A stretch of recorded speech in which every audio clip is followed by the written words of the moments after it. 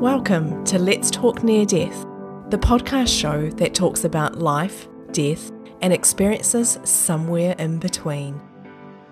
I'm Kirsty Salisbury, the host of the show, and I hope you'll join me as I chat to everyday people with not so everyday experiences. You may also wish to join the conversation over in the Let's Talk Near Death online community, which is found at www.letstalkneardeath.com.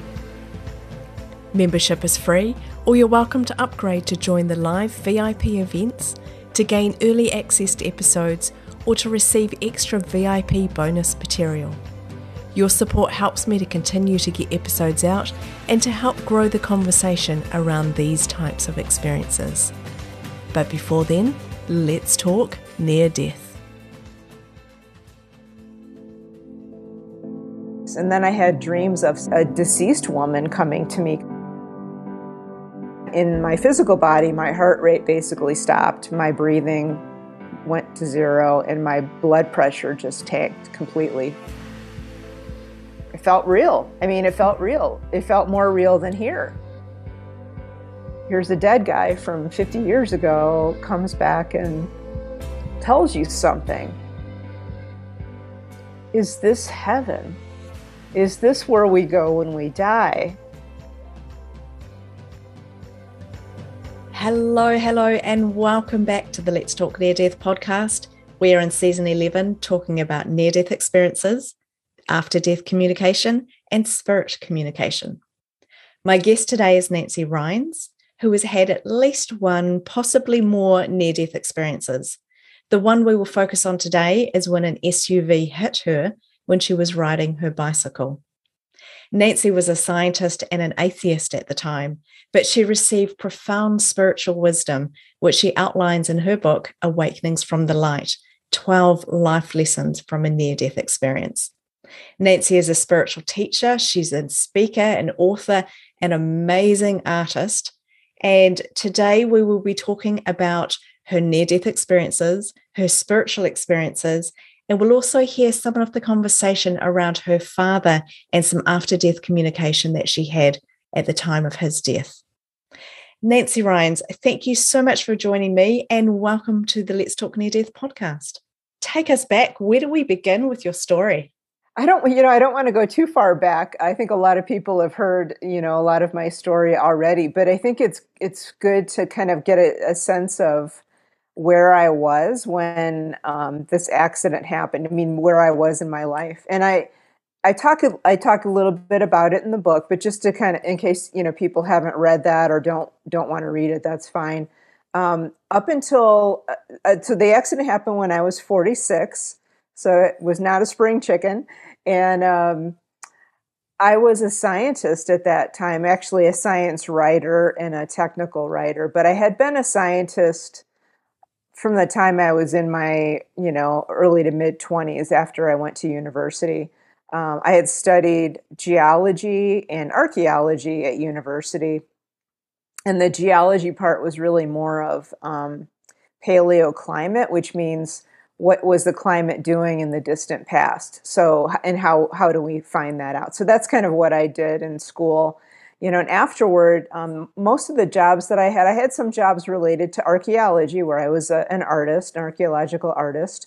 Um, but a lot of the stuff that I did really had to do with that geology degree and um, using like satellite. It's really technical, but using satellite data to try to, you know, find stuff on the ground and that kind of thing. Mm. Remote sensing, not remote viewing, but I can do that too. but um, but remote sensing using satellites and um, and that's really where I was. I was doing a lot of that work for you know those twenty years or so between university and the time I was forty six, um, and and not unusual uh, for a lot of scientists, but I I guess I would consider myself an atheist most of the time. Sometimes I kind of wavered a little bit and and mm-hmm. wanted to believe that there was something you know besides physical reality, but mostly I was just so ensconced in in the sciences and and physical reality. Granted, I wasn't a, a quantum physicist, I was I was just a geologist. So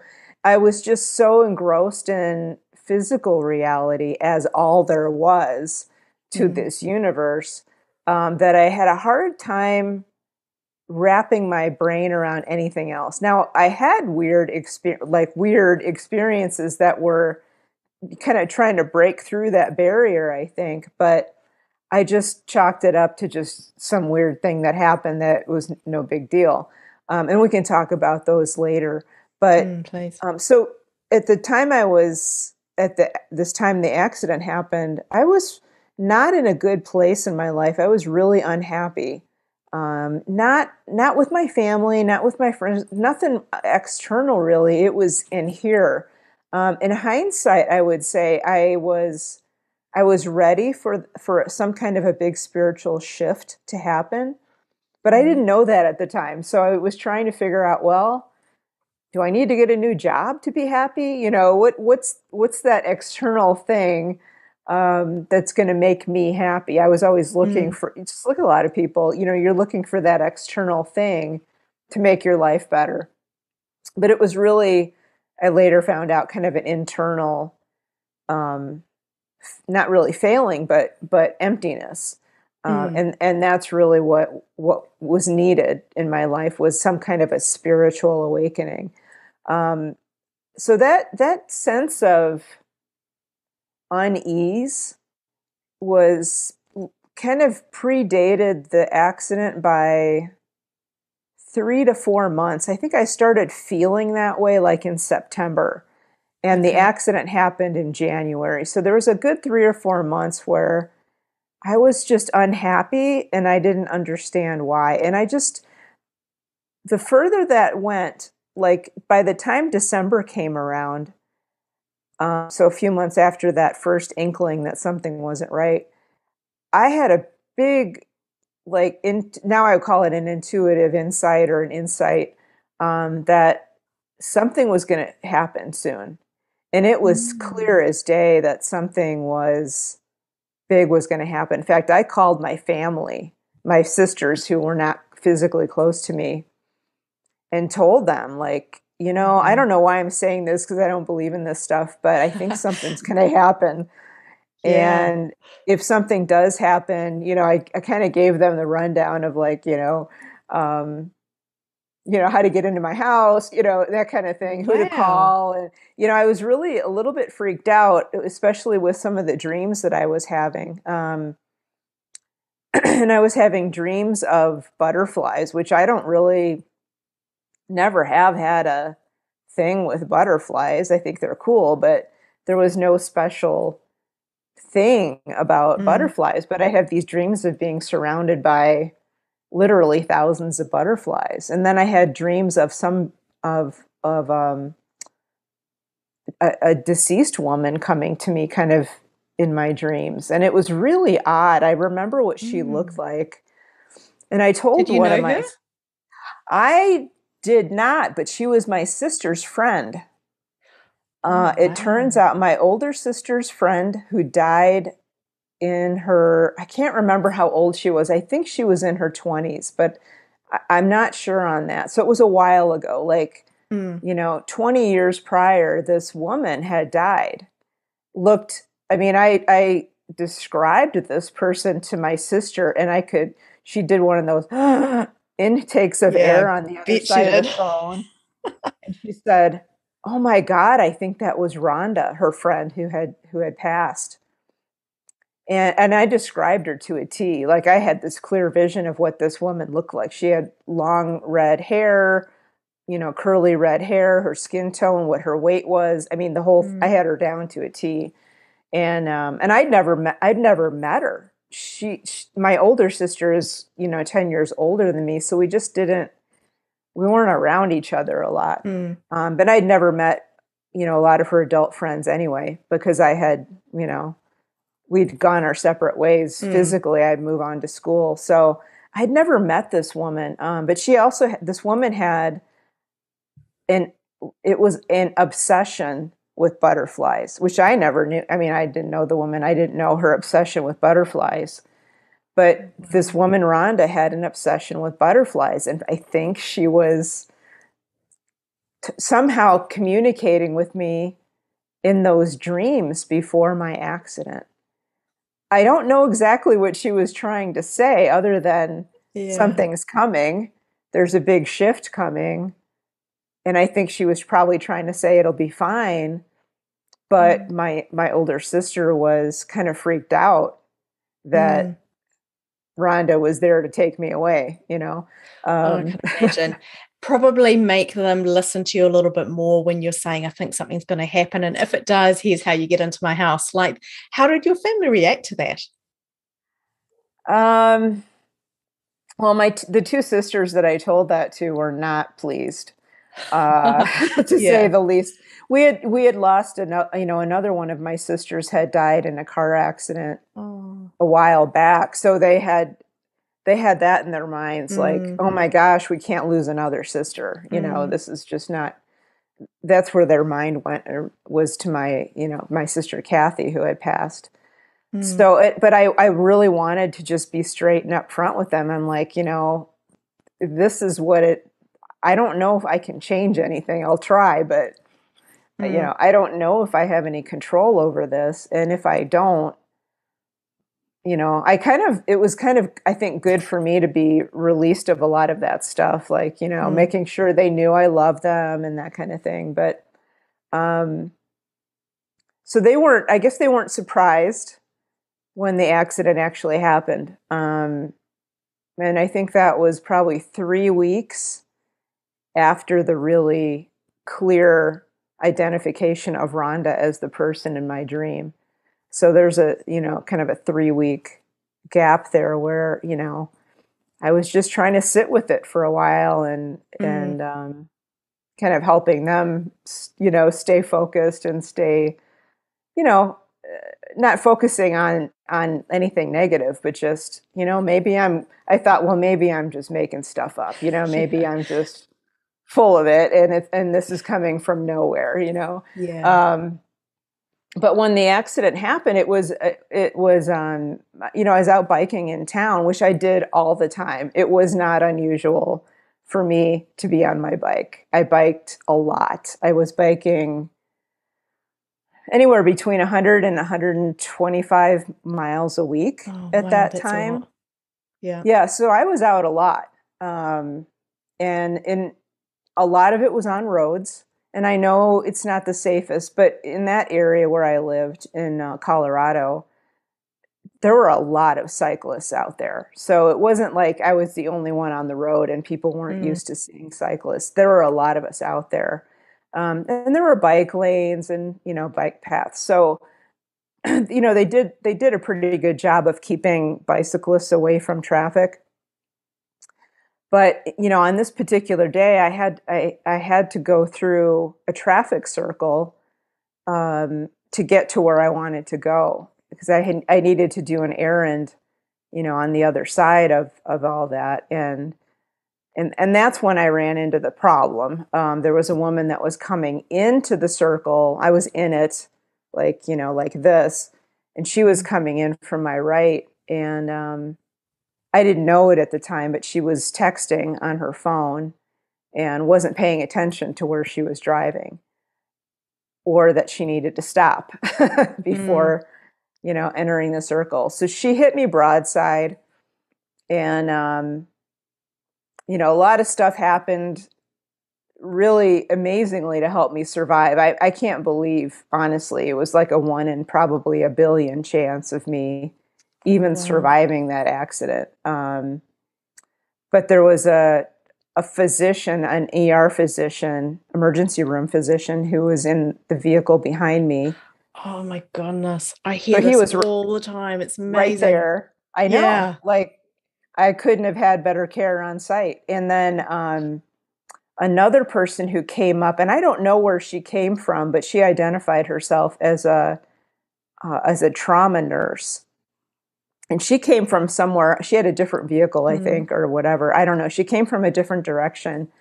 And so i had her she was the one that was there first and kind of held me down after the mm. accident happened and made sure i didn't get up because that was really the danger is it's bad enough to get hit like that but if you get up and try to move you could really injure yourself even more um, mm. than if you stay still The problem is that when you're in that mode, you're in panic mode.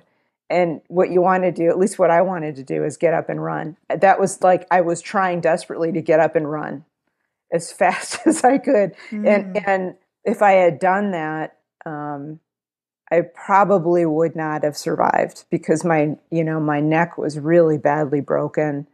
Uh, my back, my lower back was basically in pieces. There wasn't anything left holding it together. It was bad. Mm. Um, so if I had, you know, if I had try, really tried in, in, earnest to get up and run, um, well, the ER doctor said you probably wouldn't have lived to make it to the hospital.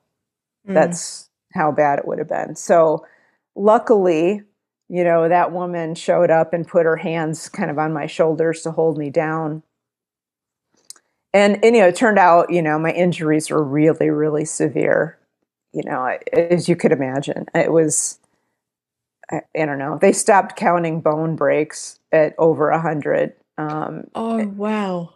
Yeah, wow. there were fractures upon fractures upon fractures everywhere. Um, oh, fancy.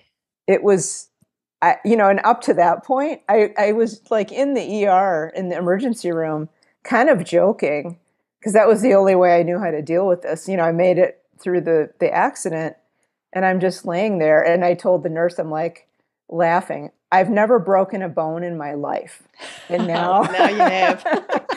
oh wow! Now, oh. like everything is broken. yeah.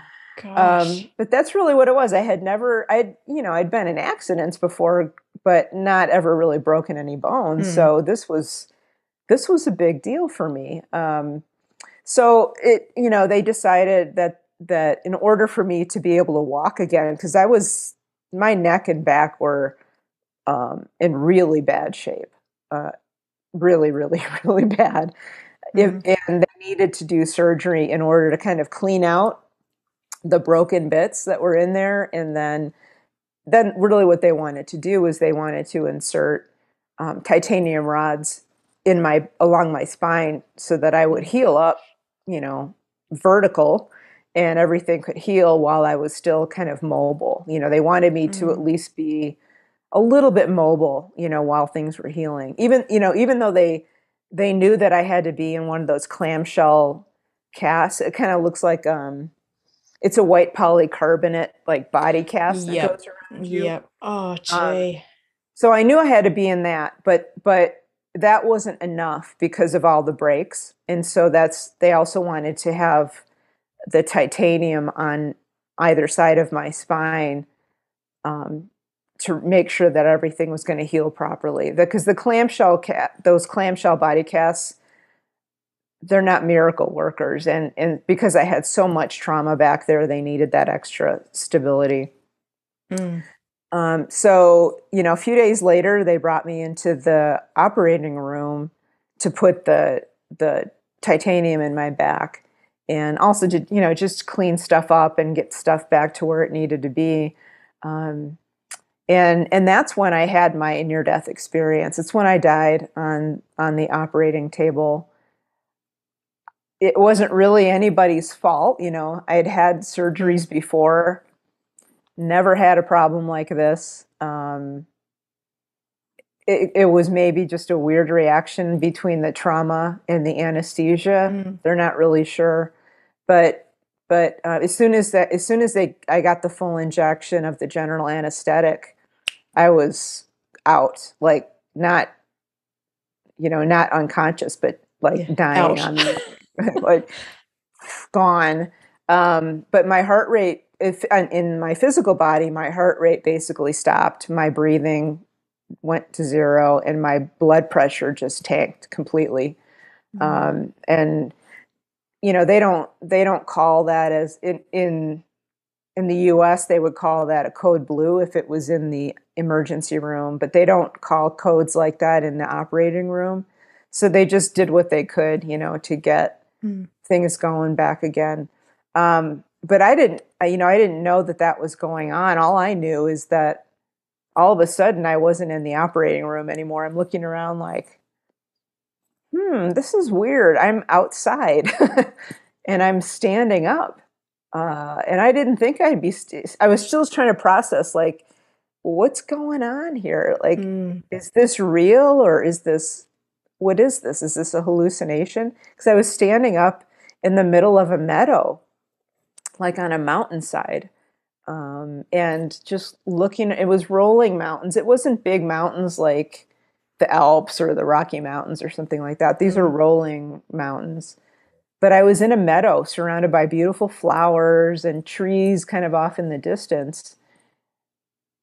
And I'm I'm just trying like pr- trying to process what's going on.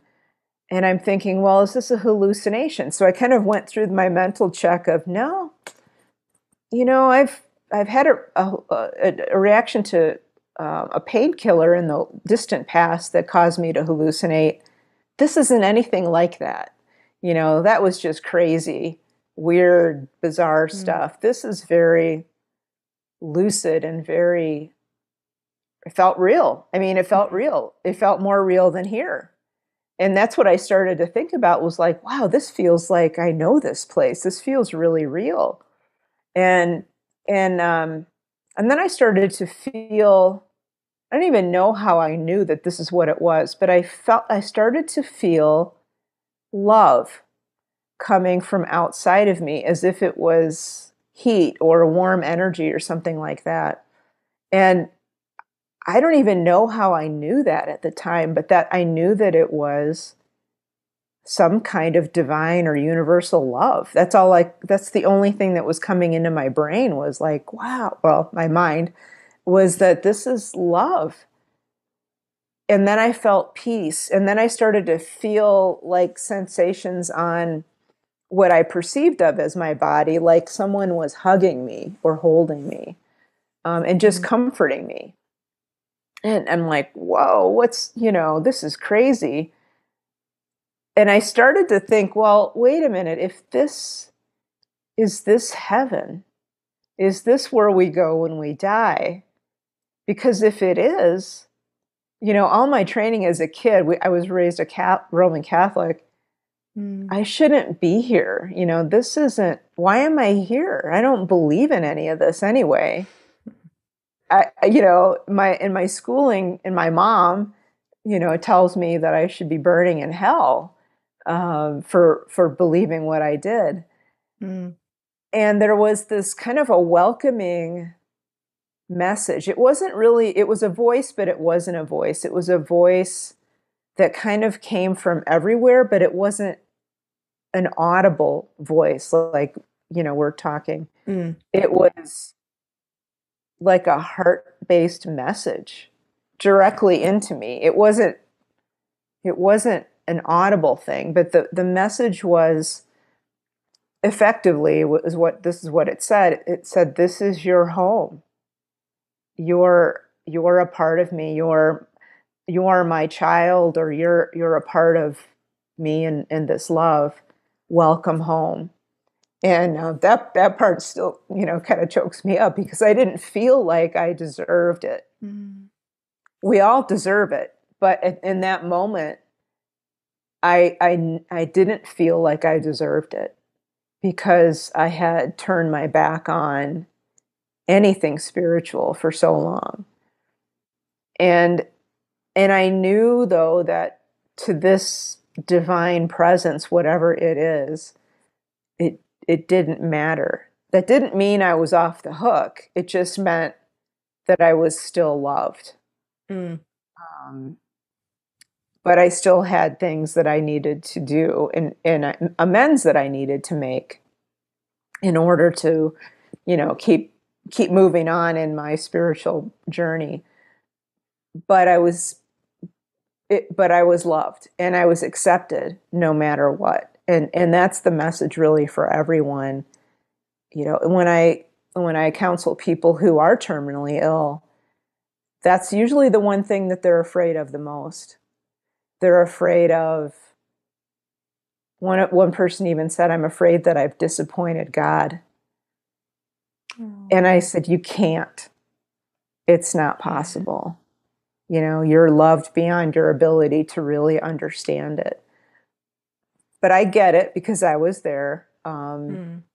and it took me a while to really ease into that and really understand what that meant but you know that's that was me. That's that was my acceptance you know into that into that divine realm. But but i but i wasn't off the hook yet. I wasn't like sent back right away.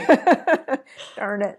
Um i i wanted to stay but then i saw uh, this figure of a person or a a spiritual being. She wasn't really she was just wearing a, the shape of a human so that it would be easier for me to relate to her um, but mm. she was a spiritual being and um, had lived a life at least one, at least one life here you know on this planet uh, but she was there to teach me some stuff and she said you know i'm here to help you learn some things so that when you go back to your life on earth it, you, you'll be able to make it into one that you would be proud to live. So I'm going to give you mm. tools to improve your life, and and then we'll send you back. And, and I did not. I was not buying into this. I did not want to come back here. Uh-huh. You know, even with my family, even with my daughter, and I know a lot of people are horrified because I have a daughter when I say that, but I knew she was going to be absolutely a okay. I wanted to see her grow up, yes. But it was so easy to stay in that place. It, mm. it, you know, that emotional, emotionally easy, I would say, to stay there and just be there. Um, but this, this, you know, my teacher said, "Well, you've already agreed to go back." And I said, What? I did not remember yeah. that. when did I do that? When, yeah. when did I agree to that? Um, and apparently, you know, so, so she showed me. You see it sometimes in movies, and there was a really good example of it in the movie um, called The Shack that came out, I don't know, four, maybe four or five years ago. And in this movie, it's about a near death experiencer, but there's this vision, this he has his life review and it's done in the air in front of him like the air in front of him was a movie screen well that's kind of what she showed me. She showed me this in front of me. Now this was a couple of years before the shack came out so i didn't have that working in my brain um, mm. just in case you're wondering. But but it was similar to that where i saw in front of me in the air she showed me a vision of or her vision of me agreeing to experience some things or you know agreeing to some of the things that i wanted to learn or do before coming in here to my life and as soon as she showed that to me so she showed it to me from her perspective because she was an onlooker of all of this mm-hmm. but i remembered being in that place and it was like all of a sudden the memory was right there for me like oh yeah now i remember well, shoot, I wonder if I can get out of it. oh, wow. Yeah. Oh. But I remember, you know, so I remembered that I had agreed to, you know, just in general, some of the things I wanted to learn or do. Um, and and there was another p- point that was important, which will be important later, is there were two other points in my life, very distinct points in my life prior to this, um, where I could have made a shift into a more spiritual life or mindset mm-hmm. Without having to go through the trauma of an accident mm-hmm. and near death experience. But I turned away, those are two distinct points that I, I, I knew at the time there was something really important about this, but I wasn't ready to deal with it. So I just turned away from what I was being led to. Mm-hmm. And if I would have, you know, who would have, could have, should have, you know, I don't know, but but those would have been two earlier and probably easier times where I could have made the spiritual shift. Who knows? Um, it, it it doesn't really matter in the long run, but but it's just interesting that I remember those two points now and, and kind of put them together with my my life plan. Yeah. You know? So you remember them in hindsight after you've had your near death experience. Yeah. Yeah. Well, I remembered at the time that they that I had experienced those things that I knew something odd had just happened and that it was an opportunity and I knew there was potentially an opportunity here to dive into that thing further and mm-hmm. go down a more spiritual path but because of my job and because of who I was with in my life mm. um, my my partner it would have it was really hard for me to wrap my brain around ditching all of that mm. and, and, turning my back on all of that. I wasn't I wasn't courageous enough at that point I think to to make that change because it's a big it's it can be a big mm. shift for people who are you know in the sciences to to mm. make that big of a shift. Um, mm. and I wasn't ready. So you know, I didn't do that. But so when she showed that to me, I thought, okay, well, I'll just go along with this and learn what I'm supposed to learn, and then maybe I can convince her to let me stay. You know, it, the, yeah. I was still kind of working that angle. Like I really want, I, I wanted to be with my sister, who had, you know, predeceased me. I wanted to be with my dad, who had, you know, passed away a while back, and other friends who had who had crossed over so mm I just mm-hmm. wanted to see everybody again. And and I didn't get the chance to do that with her. Um, but that's really what I wanted is I wanted to just keep I just wanted to go and, and be with them again. Um, but I, you know, I did as she asked, and I was a good student, or at least I tried to be. I wasn't always great, but I did my best. And uh, and I, and she taught me a bunch of stuff uh, that's all of it's in the book and or on my website or in my blog. It's it's all out there. Uh, but a lot of it had to do with with love, really. The the, the core element mm. of of basically everything. It came down to love. Like love is the structure of not only the physical universe, but all parts of the universe, all levels of the universe. And, and literally all levels of the multiverse because it isn't just mm. this one universe. So it's all connected with love. And it's interesting that since then, you know, the the way that I do things like um you know, I do remote viewing, I can do some energy work remotely from people and I do all that by connecting to that that infinite field of love. I don't know that a lot of people have talked about that's how they do it, but that's how I do it. Um, and so, if mm-hmm. you know, for me, I can connect to that now very intentionally, and you know, we do out of body work or out of body travel or astral travel. Um, all of that stuff, all of that knowledge is accessible through that field of divine love. Um, I know Ervin Laszlo calls it the Akashic field. Others mm. do too. Um, you know, it's the divine matrix, all that. But you, you know, I learned that was when I started to learn that it was real and and it we were a part of it. We're all a part of it. Mm, mm. We can't not be a part of it. We can't separate ourselves from that. In you know, in reality, we can it, try to ignore it like I did for so long, but it's still there.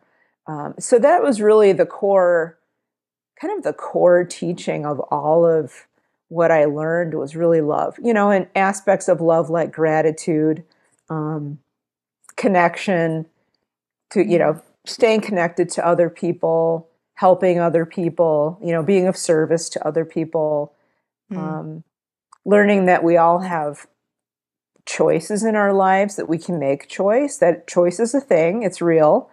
Um, mm. And things are not predetermined, but we do have choice uh, and that we're very powerful because we have that ability to choose.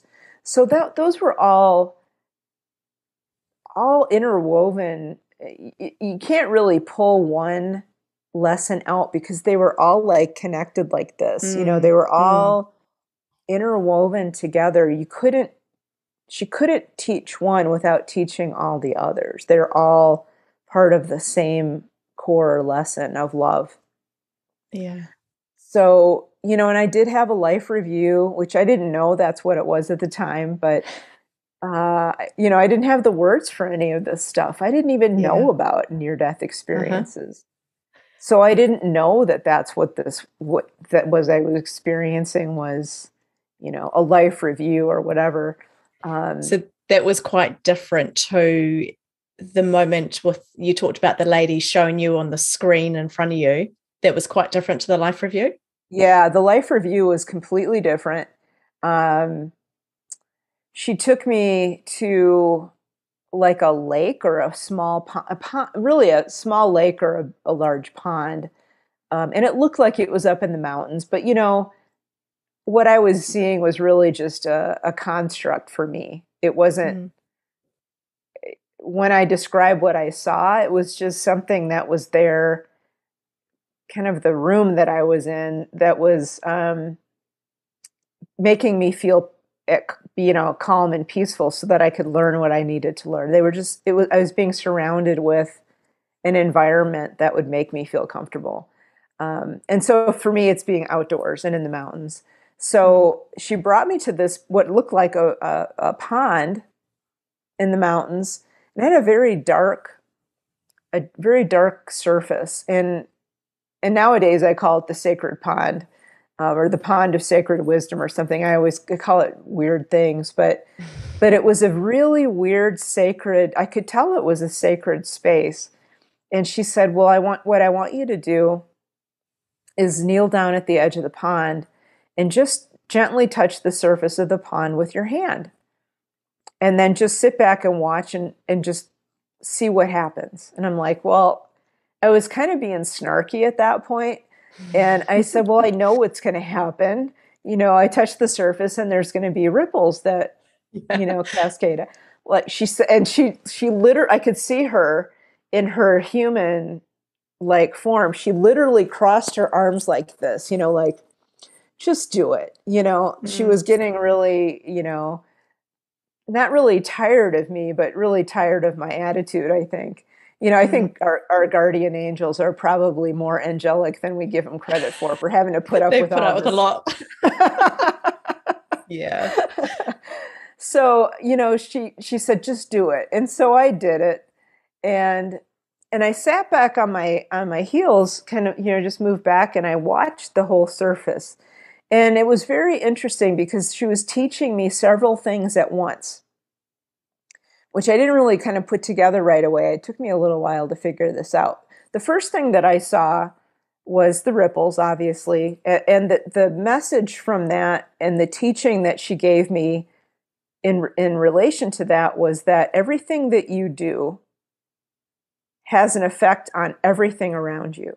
Mm. So it's like your hand touching the pond creates ripples on the surface. Well, everything that you do and say in your life has a ripple effect too.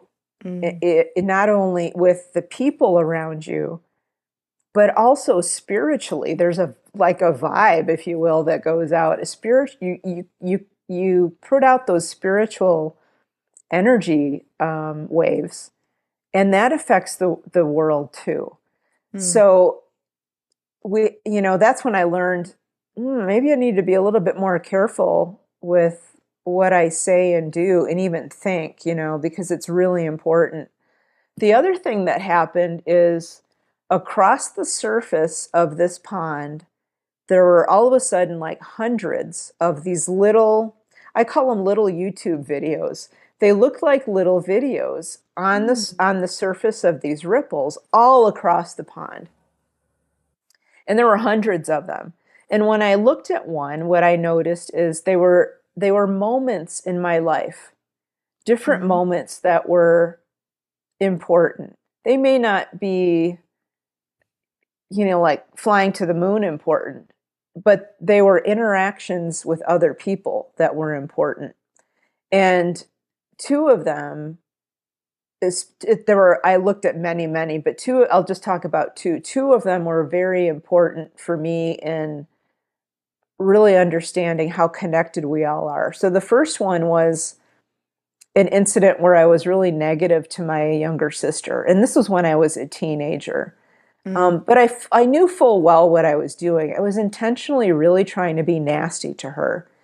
Um, and I don't remember even why, but but I was trying to really be mean, you know, just flat out mm. mean to her. And she was three years younger than me, and she did not take it very well. She felt really, really hurt and rejected and almost like I hated her. You know, she just felt awful. Well, when I looked at this little video of that particular incident, I felt what she felt. It was like I was in her place mm. on the receiving end of my negativity. And I just couldn't handle it. It was like, oh my God, now I know what she felt. And there's no way I mm. want to ever do that to anybody again. Um, I hadn't really thought about my impact on her in that moment. I was just thinking about me. Mm. And when I was able to feel what she felt and think what she thought, then I realized, oh my gosh, we are all connected.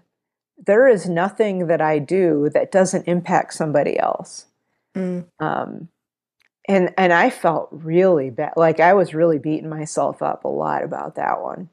Mm. And my teacher said, you know, that's not the point of this. The point isn't for you to come out of this beating yourself up. That's not the point. The point is for you to learn and, and to make it a different decision in the future. You know, that's the whole point of this is for you to grow and, and change as a result of this. And so she balanced that particular incident out with an incident where I was very kind to someone who I didn't know um, and it was at Christmas time. It, a lot of people have heard the story, but it's a. Uh, was in a grocery store at Christmas, and the clerk who was checking everybody out was having a really, really rough day. And the person ahead of me in line was not very nice to this woman, to the to the clerk. So when I got up, uh, you know, to where I was going to check out, I just told the woman she was doing an awesome job and I thanked her for being there and I you know I just did as much as I could to make her feel good mm. and and thanked her for all of the time that she was spending with all of these cranky people at the holiday because it was right, right, before Christmas. Right. Um, yeah.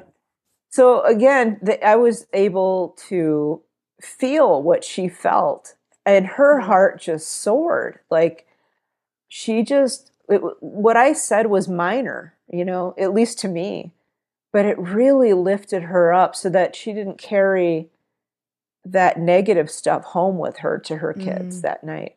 And that's what it was all about. This this life review was was learning how for, for me anyway, how to make different decisions and and how my decisions affect other people. So that was that's kind of in a nutshell what my life review was all mm. about. Mm. Wow. Yeah. There's and, quite a lot in there, isn't there? Like in terms of you've had all these lessons, being able to bring the lessons back and put them into practice here. What was yeah. that like for you? Well, it, you know, at first I thought that I was going to forget everything. That was what I was terrified of the most. Um, I mean, I don't know about you, but even with dreams, I don't remember dreams very well. And oh, I was like, me neither. Oh, how am I going to remember all of this? And I, I, actually asked that of her before they sent me, or she sent me back. And she said, "Don't, don't worry about that. You know, you'll mm. remember everything.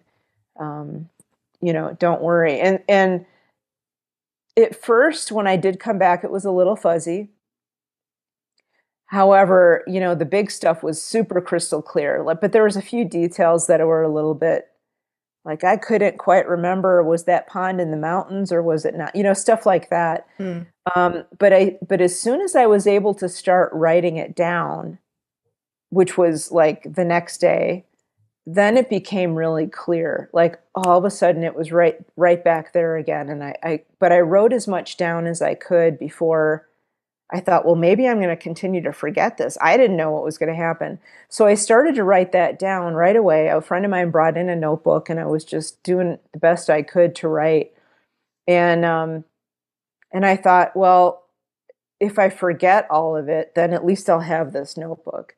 Well, the notebook ended up being my saving grace. I, I did not ever forget anything, by the way, mm-hmm. but I, I was able to go through it in the com- in the next few months and and kind of dive deeper and deeper and deeper into those teachings. And it took me well, I, I mean, I'm still probably still growing and learning as a result of that, but I would say it took me a good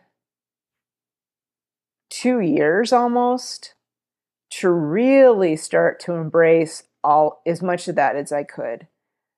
For the first for the first 18 months, I was kind of overwhelmed with it all because it was just so big. Mm. And and I would take a little bit and I would I would try to do I would try to bring one thing into my life because that's all I could do at mm. any one time was one thing. Um, and so I would spend months and months learning how to meditate again mm. or doing one small practice. So it took me a while to kind of get where I wanted to be. And I would just keep rereading my notes, and, and those notes became my book, Awakenings from the Light. Um, but it was really hard. Uh, cer- certain lessons were just, I didn't want to go there, you know? I didn't I didn't I didn't want to listen to my heart and listen to my intuition because I didn't think it was worthwhile. Mm. Um, but then the more that I did, the better my life got. So then I start. It was this gradual shift of oh, okay, well I'll try that and see how it goes. So it was just, just gradual little things that I did. You know, over the well, and now it's been almost eight years, but over the next several years. But it took me almost two years to to be to to um I was I was angry. I was still angry that I was sent back and I didn't know it. It was this underlying sense of anger that I had for 2 years that was it was minor but it was still there and I and I and it was holding me back. I knew there was something holding me back from really embracing these teachings, and it was it was that anger. I was mad. I was so mad they sent me back without my in, in you know in my viewpoint without my permission mm. because I had been sent back against my wishes at that particular time. And there was a moment where I had one of those aha awakening moments. I was driving my vehicle, and I don't ever want to have these things happen while I'm driving a vehicle. But I was driving a v- my car or uh, my SU my little SUV alongside the mountains in Colorado, and all of a sudden it hit me like, oh my god, I'm still mad they sent me back here. and I started crying and I had I pulled over as soon as I could find a, a safe place to do it. I pulled over, mm-hmm. and I just let it all out. And and as I I was bawling like a baby, mm-hmm. um, and just let it all go. Like, and I knew I was released. I could feel it just releasing. Mm. Because I'd been asking to know what it was that was holding me back. And when I found out, I'm like, I'm ready to be done with this. And so it was really only after that happened that I, I really started living this stuff more mm. on a daily basis because I had that space in my heart to be able to do so. Um, but so it, it, can take a while, you know, mm. for people to put these things into practice. And it's hard because you lose. I, I lost friends as a result of all this. Yeah. Stuff that can be the thing, isn't it? Because you end up going on a slightly different pathway to what you've been on, and that change can be incredibly hard. Yeah. That brings me back to a thought that I had a little while back when you were talking. Do you think that you talked about how there were two significant events in your life and then your near death experience? Do you think the near death experiences would have happened had you taken one of those options earlier in life? No. No. No, though that was like three. there were three different paths to get me to where I wanted to go, Mm. which was a more spiritually connected life, and you know some some other stuff that's on that path. So I knew I kind of my soul knew where it wanted to be, and I had three points, three three different pathways to get there. Mm. Um, one of them would have been when I was a kid, when I was a child. Um, it, it's, so so. Several other NDEers think that I had a childhood NDE as well. Um, it's very very possible. I had a really bad accident when I was a kid where I fell off of a three story building. Not Mm. kidding, onto concrete Oh, turned out I wow. w- didn't break a bone or anything, but I was out for 45 minutes. I, you know, I wasn't breathing for a little while. Um, but all I remember, you know, I don't remember that one as much. I don't remember really anything about it except this warm white light. That's all I remember Mm. from it. However, I came out of that very spiritual, like for a good 10 years Mm. um i was i was little miss spiritual kid. Not not religious but spiritual. And i you know I, I remember seeing you know the divine everywhere. And i tell my dad that. We'd be walking around town or driving around town. I'm like oh my god dad i i just see god everywhere. And i didn't know how else to describe it. And he, he'd be Mm. like what? This five year old kid or six year old kid and all of a sudden she's talking about seeing god everywhere. I'm like Mm. that's how i that but that's how i was up until you know my mid to late teens. Mm. and and so that was a point and that was one of them. So i could have stayed on the path then and, and really given myself over to that spiritual path back then. There was another point later um, when i was 34 when my dad died and this was the one that probably this is the one I think that I meant to be the one that that made me, you know, go over to the spiritual side of the house. Um, I think this is my the one my soul really wanted me to to grab onto because it a lot of stuff happened around my dad's passing. There were tons of stuff that happened right in this little time period. Um, one one thing that happened oh, how long was it before he died? It was about a year before he died. Now, he was terminally ill for a while, um, probably 18 months before he finally passed. Mm. But about a year before he passed, um, he wanted to, he was a big, you know, outdoors guy. He liked to hunt. I did not hunt, but he liked to hunt. And he wanted to go deer hunting he was not in shape to do that. I mean, he was really ill. He had cancer. Um, he could barely even like carry anything, let alone be outdoors all day hunting. Mm. Mm. But good daughter that I was, I wanted him to have the experience because it might be his last. And so I went with him and made sure that he was safe. But before we actually went out, you know, so that was like I, I arrived there. I think it was a Friday night. I lived a little ways away from them, so I always stayed with my parents. Um, you know, when I came to visit, so I came out on a Friday afternoon, stayed over. Um, Saturday morning, um, we were going to get up and leave pretty early to go hunting, but I was up. I couldn't sleep, so I got up and I was meditating. Um, and and as i was kind of coming out of that meditative state all of a sudden i was in somebody else's life it was the b- most bizarre Mm. thing um, there wasn't like a visitor in my room but all of a sudden i was experiencing the life of a young man um, from a long long time ago and his name was sydney and I had no idea. I had never met a Sydney in my life. I didn't know who this person was.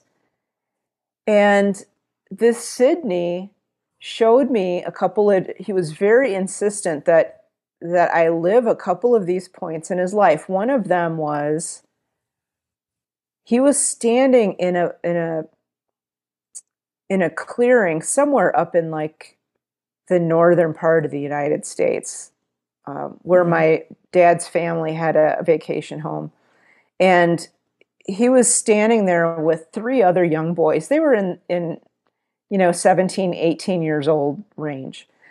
One of them was my dad at at like 17. And this kid Stanley whose body I was in was talking to my dad and we, he was calling him Willie. My dad's name is William, but nobody ever called him Willie ever in my like that I've mm. never heard anybody call him that.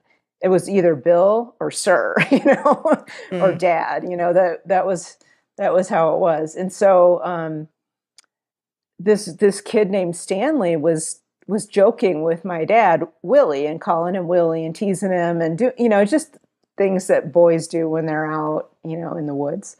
Um, and they were just having a good time and they were getting ready to go hunting and then fast forward so so i saw that i got to see and experience some of their interaction and then and then um, sydney pulled me ahead in time to um, i believe it would have been the korean war. He was a i think he was like a year or two older than my dad. And so he actually volunteered um, to go fight in the korean war. And um, it was one that we don't, you know, in the United States we don't talk about it a lot, but it, was a it was a big deal for people of that generation because it was kind of the start of the Cold War between the U.S. and and then um, the Soviet Union. And and Sydney took me to certain points of of his life there as he was fighting in Korea, and and then he brought me. Um, it was hard to watch because I was in his body as during the day he died because he was in a firefight and died in combat.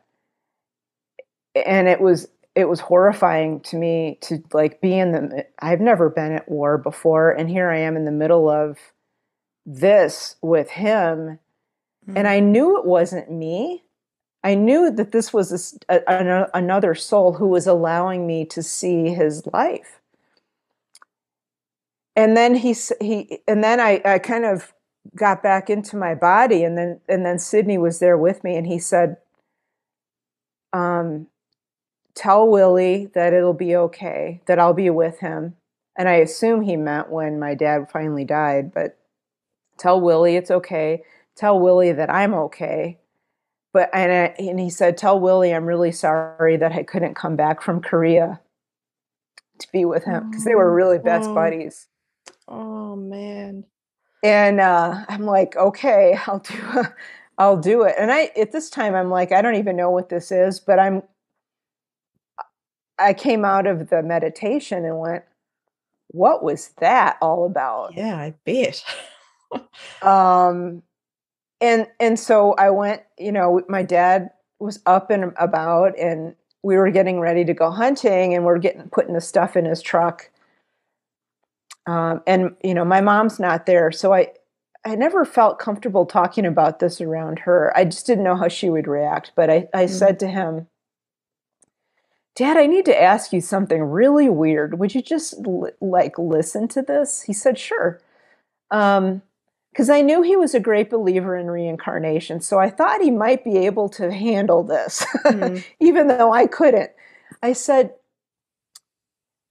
Did did you ever know anybody named Sydney? And his eyes went, he like, he kind of reared back like this, and his oh, eyes got really big. And I said, Did he used to call you Willie? And he started, like, my dad started crying. I never saw my yeah. dad cry. Just started a little bit. And he said, "Yeah, he was my my childhood best friend, and he died in Korea. And I never, have never really oh. told anybody about him." Oh my goodness. Like, well, Sydney came to me this morning and Sydney wanted you to know that he's okay and that he's really sorry he didn't come back from from Korea because he was supposed to come back and and you guys were going to hang out, but he's sorry that he couldn't make it back. Um, but he's, you know, he wanted you to know that he's okay and that he's here for you whenever you need him. Oh. And my dad, he just he was so embarrassed to be crying. He just turned and kind of I could tell he was trying to kind of gather his himself mm. together. But so apparently what I told him hit the nail on the head. It was like I, I didn't know Sydney. He didn't even tell my mom about Sydney. Nobody knew about Sydney until I just out of the blue talked about Sydney that morning. And um, so that was a point, that was one point. The other part of this whole story around my dad was, you know, I tried to put the weirdness of that aside. I tried not to think about how astounding that was. Because mm. mm. um, in hindsight, it's astounding. You know, like here's a dead guy from 50 years ago comes back and tells you something about your dad, you know. Um, but I tried not to think about it. I think because I was dealing really with my dad's terminal illness, and it was that was so hard, you know, in and of itself. So it, it my dad finally did die a year later, and I was um, I was six hours away at that time. That I lived quite a ways away by a car, and I knew the moment he died. It was four in the morning um, I woke up and saw him at the foot of my bed. And he didn't say mm-hmm. anything, but I knew he mm-hmm. was leaving. And I told him it was, okay. you know, I said, it's okay. I get it. I know you need to go. Um, mm. And I could feel him and sense and almost see that he walked. It was almost like he really truly did walk behind a veil and he mm-hmm. just faded away. Um, and just at that moment, the phone rang, mm-hmm. and it was my brother who had who, who, was sitting with my dad while he passed. Uh, my brother called and said, "You know, Dad passed away." And I said, "I know. he was mm-hmm. just here. he just said goodbye." So I drove over there uh, you know, I got there later that morning, midday ish time frame, and I was with my partner at the time, who he was a scientist too, and he would have. I never told him any of this stuff because he would have thought I was stark raving crazy. so I never spoke about any of this really. And um, so we get to the front door of my parents' home, and by then um, you know the the funeral home people had come to take my my dad's body down to the funeral home for preparations for the funeral. Mm. But we opened the front door, and as soon as I touched the front door, you know, to kind of open it, I heard music. But it wasn't music coming into the ears because my partner didn't hear it. Because I asked him, Do you hear that? He's like, Hear what? You know, we were out. In, my my parents lived out in the middle of the boonies in the mountains, mm. and nobody else around. So it was birds and them, you know. So and I knew this wasn't birds. It was. It sounded like choral music in a cathedral or something, but multiplied by mm. about a million. There, it felt there like there was a million different voices singing all in unison, and it was joyful. It was just, I just felt so much peace mm. and joy when I heard that. And I knew my dad was okay. Mm. I don't even know how I knew it, but I, but that was what I came to understand later. It was like the echoes of him and his soul kind of getting to that higher spiritual level of what you might call heaven or whatever. But mm. it was that that song, people call it the song of heaven. Well, that's what it sounded like. It sounded like a million beautiful voices singing all in harmony. Mm. And that lasted for several minutes. I walked in. Um, there was no music playing on the stereo. my mom was crying, obviously, my brother was crying, and nobody else heard it except me. Uh, and I didn't know what it was, but it was, I heard that again later when I actually died. Um, so that was really that those two those two pieces of that kind of came into play you know during the time that around my dad's passing that year or year long mm. time that was the point at which i was really supposed to make the shift um, but especially with my dad's passing and experiencing you know um, especially hearing the music and seeing him but again I didn't go there. It was just too scary, you know. Mm. It would have upset my life a lot. And I didn't, I really, I knew it. I knew at the time that this was probably not the right choice to make, but I did it anyway. And I mm. just, I can't deal with this right now. I just can't. Mm. I think a lot of us can relate to that. Maybe not to the extent of changing your whole life, but I think a lot of us have things we know we should be doing and it kind of tugs on our heart a little bit, but it's so much easier just to carry on or just to turn the other way or something like that. And it's almost a little bit unfortunate. Well, I'm not sure whether it is or not, actually. I haven't quite worked that out. For you to have such a big change ahead of you, to have these forks in the road that require so much and you know you said that you didn't think that would happen your your accident and the near death experience would happen if you hadn't had the times before so right. yeah, there's there's another part that you said is that it's about connecting and consciously tapping into would you call these gifts? Would you say that these are things that you've had most of your life, the ability to tap into seeing things and this these spiritual works that you have in your life? I think so. I, you know, for a while, I kind of denied them. I mean, I had some stuff happen as a kid. um, before you were five, before that very first accident where you dropped off the building?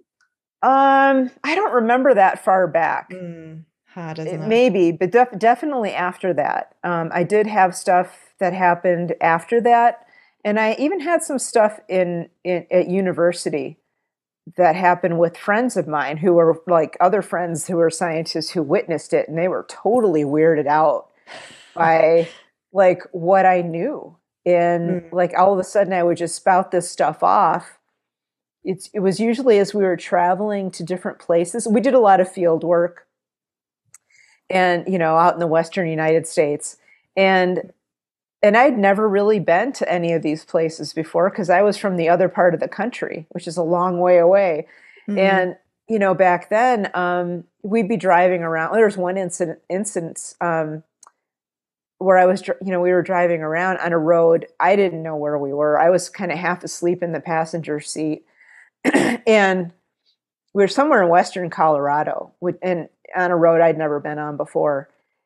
And I woke up like, like this with a start. And I said, you need to pull over right now. Cause there's something back in that Canyon that I want that I need to see. Um, it's some kind of a rock art panel. And, and the, the guy that was driving was a geologist. He's like, I didn't even know we passed a canyon. Like, what? How did you even know? Because you were asleep. and he's driving. and he's driving. I said, right. just do, do, please do it. Please pull over. I said, there's something back there that I'm supposed to see. And and he's like, there's nothing back there. Oh, I can imagine. It's, you know, and so we he turned he did he he humored me. So we turned around. We get out of the car, and I said, it's just it's just back here. So I showed him exact, and there it was, this beautiful panel of ancient Native American rock art. And it was the first time I had ever seen it in this lifetime. Mm-hmm. I've never seen, I've always wanted to see Native American rock art, but I hadn't seen any before. And I, I was just like blown away. It was so beautiful. It was these beautiful red, big, huge paintings that were hidden. You couldn't see them from the road.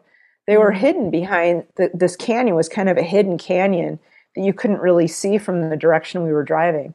And his eyes were like saucers and he mm. he was terrified like what oh, the hell is going on pardon me he was terrified.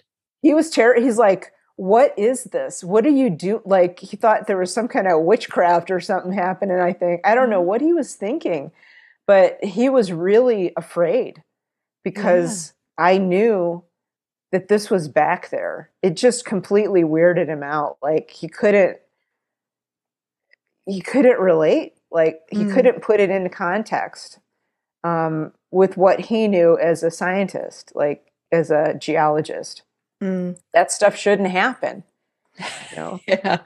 Because yeah. you know consciousness only exists in your brain right? So there's no way you should know stuff that's out there um, because you know the brain produces consciousness and that's it.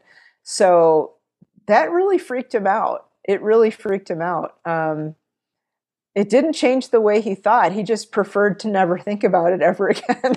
right. Isn't that interesting? And that's another one of those examples where you're being, I guess, forced to confront something and actually make a bit of a scene. No, no, we need to turn around, and you have no idea what's coming. This has become a bit of a theme in your life up till that yeah. point, wasn't it? Of these hard yeah. decisions, and I have to step out the mold. Yeah, I feel for you in that. Now, I can't help, my mind is wondering, my mind is questioning the woman. So, your sister's friend with the long red hair and the uh-huh. butterflies. Uh-huh. Did you ever see her in your experience? Have you seen her again?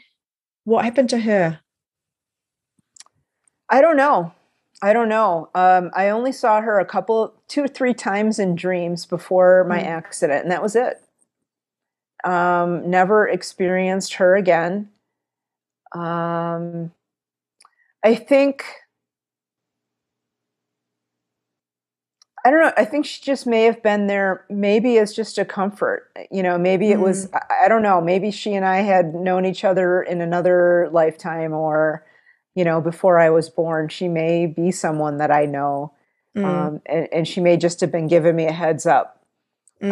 Uh, maybe she was giving my sister a heads up. That's what i was just thinking is maybe you were just the the pathway for the message to get through to your sister. Yeah. Who knows what's gone through your sister's mind through that experience and what that leads on to. You're talking about the ripple effects and i think the tiniest little things we just have no clue the impact that they can have and yeah. yeah it's so interesting isn't it? There's yeah. been a lot there. You've talked about a lot of different concepts with all of the life lessons that you've had through this, with everything that you got out of this experience, the things that you came back with that you thought you would forget but didn't, what's it's hard to put it into what's the one big thing, but I'm going to ask it anyway. What's the one big thing? What can we take away from this? Yeah, I think for for the for most people, it's that it's that we are all, all of us, are so loved and we are so connected more than we ever know. Even through all of this weird pandemic stuff, um, at your spiritual level, it doesn't matter what you think of yourself right now. Because I honestly, when this happened, I didn't like myself very much. You are all, every one of you out there, everybody is loved beyond your ability to comprehend it. You are already a part of that divine love, whether you realize it or not. Um, it is you. You are it. You're all a part of it. And you're connected to everyone because of that connection through that divine love. So, that to me, ultimately, that is the one core, the big message that underlying or running all through this reality, whatever this reality is, through all of our lives, there is that that divine loving consciousness that is there that's a part of all of us that we're a part of it. We can't mm-hmm. we can't separate ourselves from it. But when you consciously choose to align yourself with that if you can do that on a, on a daily basis as much as you can like meaning in whatever capacity that you can you're going to make yourself feel so much better just by want des- the desire to be in alignment with that. The more that you desire it the more that you're going to do um, to put yourself in alignment with that. And and when you do that, I tell you what, you feel so much better. I'm not going to guarantee that you're going to win the you know win the lottery or something if you mm. put yourself in alignment. What, but you'll win. You'll win the emotional lottery. you will win yeah. the spiritual lottery because you're yeah. you're in alignment with that. The the challenge that comes with it is that all of a sudden you realize too with with when you're in alignment with that divine love and that divine consciousness, all of a sudden you can't lie to yourself anymore. so you have to be prepared mm. to really look at your life and say, you know what? That that thing over there doesn't serve me anymore, so I'm going to find a different way to, mm. you know, to live in my life or you know, that job doesn't serve me anymore. I need to find something that's more in alignment with who I am in order to feel fulfilled. So, mm. with that divine love comes to, I call it divine truth. You know, you can't you can't hide from it. You can't hide from yourself either when you put yourself in alignment with that. But but it really makes your life a lot easier to live too. It, it takes away a lot of the guesswork and decision making is easy because then you always choose the the choice is to choose the most loving decision whether mm. that be for yourself or you know others. But um, yeah aligning with that divine consciousness that divine love is really key uh, i think the key takeaway from all of this. It, it's really what underlies all of all of this. I think the reason that i've been able to you know, connect with some of those people who are no longer here. And I have other stories, trust me. Like, um, someday I'll have to just tell you the chicken story because it's so funny. But there are so many of those instances, but I think it's because I've cultivated that ability to connect to that divine energy, that divine love on a daily basis. And if you can do that, not that not that I'm going out of my way to have these experiences, mm. but but then you're just connected a lot more to everyone and everything. There's that sense of connection and the barriers between you and other people just fall away. They they don't make any sense anymore. Mm. Um, so that's where that you know if you can if you can align yourself with that divine love because it's there you're a part of it whether yeah. you realize it or not mm. um, it makes your life a lot better. Exactly. Not always easy, but better. I right. love how you put that. Yeah, exactly. It's not always going to be straightforward. But you talked about how if we tap in, then maybe we realize, oh, our job's maybe not quite so right. So we need to look for something new. And it might be little things at a time. Yeah. I love it. Nancy, thank you so much. Thank you for coming and sharing all of your insights, your stories, your little bits of information around after death communication. There's so much more in there than what we've shared. I know that, but I want to say a huge thank you for what you've shared today. So, Nancy, thank you so much. Thank you so much. I appreciate it. Thanks for joining me for another episode of the Let's Talk Near Death podcast.